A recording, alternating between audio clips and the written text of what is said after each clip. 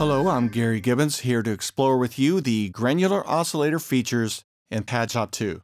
In this video, I will show you how to create a preset using short grains. Let's get started. I have the PadShop 2 default preset loaded up, and at the waveform display window, you can see on the right upper corner, pure sine is the default sample. I'm going to quickly select the multi-pulse sample.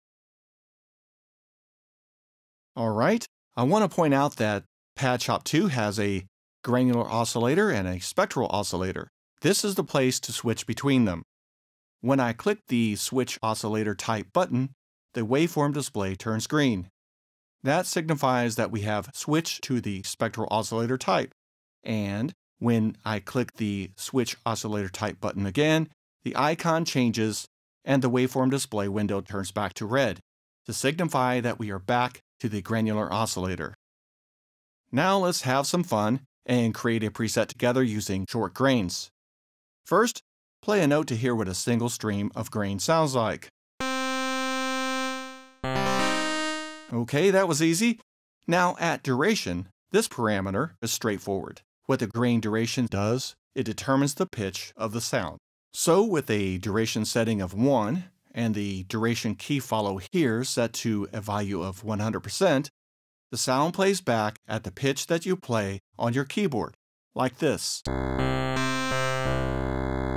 Alright, now if we set the duration value from 1 to 2, the pitch drops by one octave, just like this. This is because the grain duration is now twice as long. So, if we change the grain duration setting to a longer value, more of the pitch of the sound is determined by the pitch of the original sample.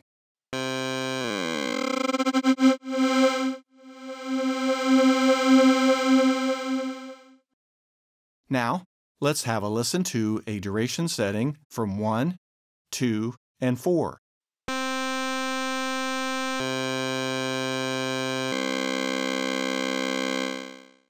All right, let's move along. For the next example, let's change the duration value back to 1 and move to the duration key follow parameters here. So let's say that we want to apply the same volume modulation to each key on the keyboard. To do this, we would need to set the key follow to 0%. This is what it sounds like. Okay, cool. Now let's gradually turn the key follow parameters back to 100% while playing C2 and C3.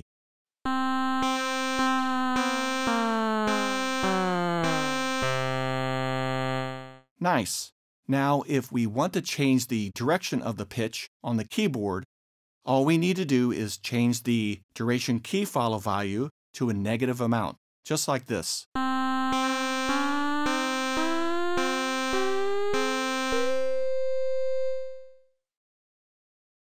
Okay, next, I'm going to show you the shape parameter and adjust the settings while playing some notes.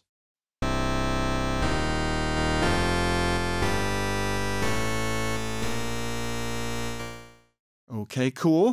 Here, the shape of the grains determines the amplitude of the portion of the sample that is playback within the grain. So, when you are programming your presets, make sure you don't forget the shape option. Okay, now I'm going to dive into the format parameter in the pitch section. So when programming with short durations, I have found that changing the format settings can be a great way to manipulate grains. So when we increase or decrease the parameter, you will hear that the format in the spectrum moves up if the value is increased,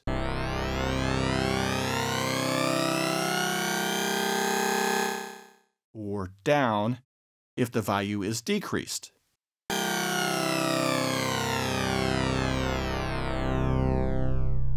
Okay, now I'm going to set the value to minus 12 semitones and have a look at the length parameter. The length parameter has an effect similar to the format parameter. By decreasing the length value, the grain is shortened, but the period at which the grains repeat stays the same. So only the spectrum of the sound changes, but not its pitch.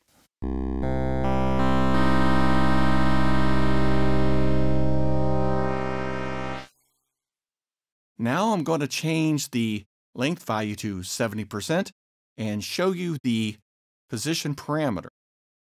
This is where you can set the playback position manually. Let's change the setting to 50% to make the position start time in the middle of the sample here. Coolio. Now let's have a look at the number of grains parameter. This function is also very straightforward. When the number of grains values are changed, it determines the amount of grain streams. Easy enough, right?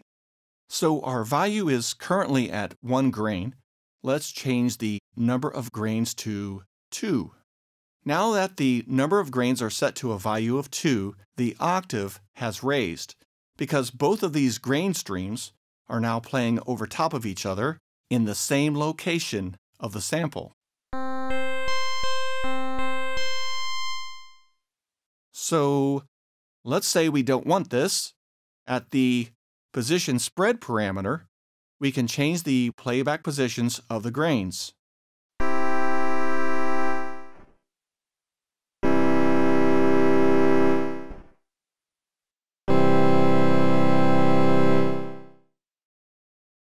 I want to point out that this function works only if the number of grains is set to a value higher than 1.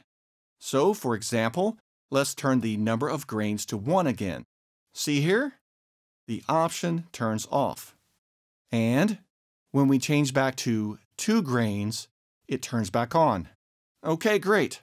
I'm going to set the spread value to 70.8% and next show you the duration spread parameter. So when the duration spread amount is changed, each grain is played with a different duration. Let's change the value so you can hear what it sounds like.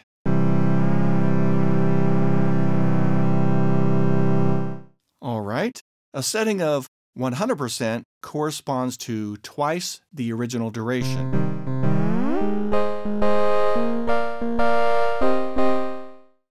Now, a setting of minus 100% is half of the original duration.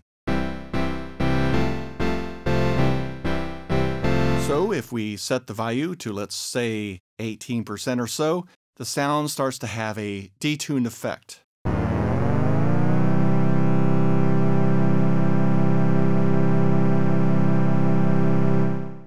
All right, nice. Okay, that was fun.